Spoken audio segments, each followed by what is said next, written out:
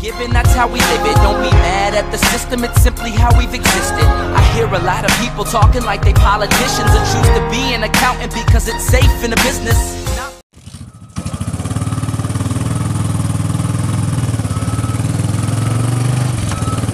So, what's up guys? Magandang umaga sa inyo lahat. So, may lakad tayo ngayon. Ah, pupunta tayo ng Santa Maria, Bulacan para dun sa tripping, dun sa titingnan naming ah, rent-to-own na bahay. So, ayun. Ah, libre lang naman yung tripping na yun, no? So, wala kaming gagastusin. So, ginrab namin yung opportunity para tumingin nga ng bahay para sa future. Siyempre, hindi naman na tayo bumabata. Ah, lahat tayo kailangan in the future, eh, meron man lang tayo may iwan sa ating mga anak na titirahan nila. So, ayun, ito yung opportunity para pagplanuhan na yung mga bagay na yon. So, hindi naman madalian na nasa plano naman ng lahat. At eto na nga, eto na yung sasakyan namin. Ah, papunta dun sa tripping na sinasabi ko sa inyo. So eto no, ah, pupunta kami doon sa Santa Maria para nga tumingin at para rin makapag-decide if ever eh kukuha nga kami ng bahay na yon. So hindi naman cash yun guys no, rent to own siya. So um, titignan natin yung location, tapos titignan natin yung itsura ng bahay. Syempre number one no, dapat ah, safe yung lugar. At number two, syempre para sa amin na ang talagang tinitake into consideration namin ay yung hindi sana binabaha, 'di ba? Syempre, pangit naman kung yung area ay binabaha. Isa yun sa mga dapat nating iniisip, dapat malapit sa lahat. Yung tipong hindi naman yung babiyahe ka ng pagkalayo-layo para makapunta sa school, sa hospital, sa palengke, sa mga shops. Syempre, kahit hindi naman ganun kalapit, basta yung medyo accessible naman guys, di ba? So eto nga kasama ko ang aking asawa ngayon sa tripping na ito, guys. Ah, eto, ah, actual na makikita natin yung forma ng bahay, no. So eto yung nakita namin kasi eto lang yung sa tingin naming realistic nakakayanin talagang hulugan. Ah, type sana namin yung isa kaso nga lang medyo mabigat siya dahil alam niyo naman guys, ah, hindi natin hawak ang panahon. Syempre, pwedeng dumating yung time na mawalan tayo ng income, mawalan ng trabaho, at least may survive namin yung paghuhulog kung yung kaya lang namin talaga. So, ito yung bahay na yon, yung ah, Pasinaya. Ang tawag nila dito sa Pasinaya Homes kasi ito. Dito sa Santa Maria, Bulacan, Katmon. Ah, Katmon, Santa Maria, Bulacan. Ito yung Pasinaya. Ito yung pinagpipilian namin. Ito. Tapos meron pang isa yung Pasipol. Ayun yung ah, du- ah, duplex na may parking sa gilid. Ito, meron siyang mapaparadaan naman ng sasakyan if ever magkaroon ng sasakyan in the future. Sa harap nga lang ng bahay mo, ah, wala talaga siyang designated area para maparadahan. Pero pwede na siguro to sa harap lang paparada ka, no? Unlike dun sa duplex, meron talagang designated area na talagang binayaran mo para pag-parkingan ng sasakyan. So, ayun guys, ah ito yung ito nga pala yung actual na itsura niya. Kasi ah, hindi kasi namin na-expect no, unfortunately for some reasons eh bawal pumasok. Hindi rin namin alam kung bakit. Siguro dahil sa COVID. Kaya yung tripping namin ay hanggang dito lang sa labas. Bawal mo nang pumasok para ma-view yung loob. Pero ito nga pala guys, no, ito yung pasib ah possible na tinatawag nila possible homes naman ito. Ah ito yung sinasabi ko sa inyo, may parking sa magkabilang gilid. So yung nakikita yung model unit na yan ay dalawang unit. So ayan, tag-isa sila ng parking sa kaliwat kanan. So model unit lang to mga to guys no. Sa nga pala guys, um, sa tingin namin na mukhang maganda naman kasi meron namang nakikita kaming mga uh, video sa YouTube na pinapakita. Eto guys, ito yung loob ng bahay na sinasabi namin sa inyo na Pasinaya Homes. Ito yon, ito mismo yung pinakita ko sa inyo. Bali, credits nga pala sa owner ng video na ito. Ah, ayan, sa kanya galing yung video, tinanggal ko na lang yung audio. So, ito yung baba.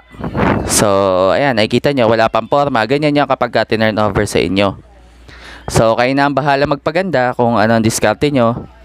Kung talagang ah, malawak ang imagination nyo, eh mapapaganda nyo. Halimbawa na lang ang gagawin nyo sa video na to. Ah, bali, kinuha ko tong video para mapakita sa inyo yung idea kung paano ang kakalabasan. So ayan guys, ah makikita nyo. Ayan yung naisip niyang forma ngayon dun sa pwesto na yon guys. So, syempre, pag wala pang forma, medyo hindi maganda. Pag pinormahan, ayan na, medyo talagang elegante na siya, no? Nasa sa inyo na lang talaga yung pagpapaganda. So, eto nga pala yon. Eto mismo yung bahay na yon. Ayan, kapag ka napormahan na. So, palawakan na lang talaga ng imagination yan, no? Kung paano nyo popormahan. Ayan siya kapag wala pang forma. At yung pinapakita naman, ayan naman yun pag napormahan na siya. So, ayan. Kayo na bahala mag-decide, no? Rent to own nga pala to, no? Guys, ah wala naman tayong pambili ng cash. So, ayan. Kailangan muna natin magbayad ng reservation para may reserve nila tayo ng slot kasi nagkakaubusan na rito dahil nasa sold out na yung mga units nila. So, eto nga pala yung ah, exterior.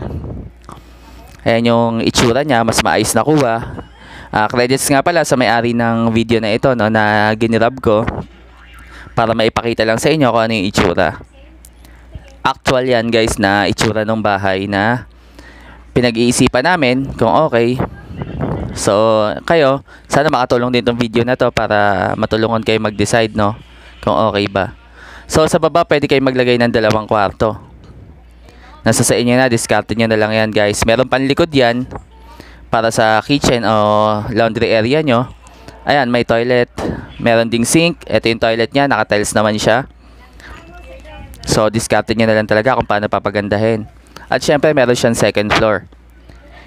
At pwede nyo rin naman siguro taasan yan kung may budget na kayo in the future. Pero pansamantala, pag pinasa sa inyo yung bahay, ganito muna ang forma niya. So, eto guys, ah bakal yan, yung hagdanan na yan. So, kayo na ang bahalang dumiskarte ko ano ang gusto nyong gawin. Kung gusto nyo bang gawing kahoy yan. At yung taas, ah ayan, masisilayan nyo din, no? Ah, talagang tagusan yung hangin, no? Marami siyang bintana. Yan. Malawak naman siya, guys. Nasa diskarte nyo, pwede nyo rin gawin dalawang kwarto ulit tong taas. Dahil malaki-laki naman siya. Hindi nga lang ganun kalaki ang kwarto ang magagawa nyo. Pero okay na din, no? Not bad kasi lahat naman tayo ay nangangarap magkaroon ng sariling bahay someday. So ayan, nakita nyo may, insula- may insulation na siya dun sa bubong niya. Siyempre, lalagyan nyo pa ng kisame yan. Nasagot nyo na kung talagang kukunin nyo yung unit. So, ayan guys. Ayan yung view. Ayan, isa pang view para makita nyo maigi. Ito yung taas sa wide angle view. Diba? Naka-insulated na yung taas para sa init. Yan, discarte nyo na lang yan kung paano nyo hatiin.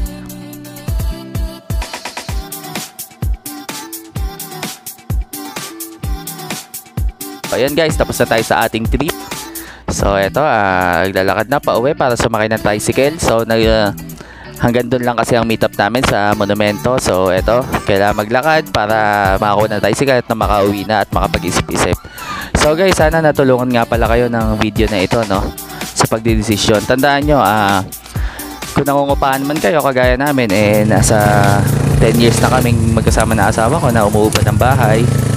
At ako naman, nung binata pa ako, umuupa din ako. So, ang total na pag-upa ko ng bahay, siguro mga nasa 25 years na or 20 years na akong nasa paupahang bahay, no? So, yung inuupa nyo doon, pwede nyo namang ihulog sa rent to own. Kompletuhin nyo lang yung requirements nyo. Uh, through pag-ibig nga pala dun sa amin. Pwede nyo ring i- uh, bank financing kung gusto nyo. So, decision nyo na yan. Pero pag-isip-isipan nyo, di ba? Kasi iba pa rin yung may sariling bahay. Mas importante yan kaysa sa pagkakaroon ng sariling kotse o kung ano pa mga luho, no? Yung bahay kasi pwede nating uh, iwan sa mga anak natin yan para later on sa future, eh, meron sila pa sa silungan. 'di ba? Tama ba ako, guys? Bukod sa edukasyon, ay yung ito yung mga pinakamagandang maiwan sa mga anak natin, yung bahay. At tayo naman habang tumatanda, maganda rin yung meron tayong bahay na matatawag natin sa atin. So, ayan guys, tsika-tsika lang, kaya naman din natin yan, no? Konting sipag lang, ah, wala namang masama sa pangangarap. Ang maganda nga lang, umaksyon ka, hindi lang puro pangangarap. Dapat, humakbang ka, take the first step para makapaglakbay ka ng milya-milya, umpisahan mo sa unang hakbang. So, ayan guys, ah, eto at pauwi na kami. So hindi ko na masyadong hahaba pa tong video na to. Sana may naitulong ako sa inyo kahit papaano. So God bless sa ating lahat at sana lahat tayo matupad natin yung pangarap natin na So, hindi man hindi naman niya may namadali pero paghirapan natin at uh, pagbuhusan natin ng oras at huwag natin laging kakalimutan na magdasal, no? Kasi kahit na anong galing natin, no, kung walang guidance ng ating Panginoon, eh, hindi naman natin makakamtam yung mga gusto natin. Kailangan lahat ng bagay eh, isanggunin natin sa Panginoon para tulungan niya tayo na makamit ito at tulungan niya rin tayo mag-decide nang hindi tayo mamali sa kung ano desisyon gagawin natin. So, ayun lang guys. Ah... Ingat kayo palagi at kung wala naman tayong gagawin sa labas, huwag na lang muna tayo maglakwa-lakwa siya. Ah, piliin na lang natin na huwag nang dumagdag sa problema pa ng gobyerno. Alam niyo naman na may virus na kumakalat ngayon. So, ayun na guys. Ah, kung hindi pa kayo nakasubscribe ay mag mag-subscribe na rin kayo sa channel ko at i-click nyo yung notification bell para updated kayo sa buhay ng isang ordinaryong taong kagaya ni Joan na dumadanas din ng mga dinadanas niya sa araw-araw. Yun lang. Babush guys!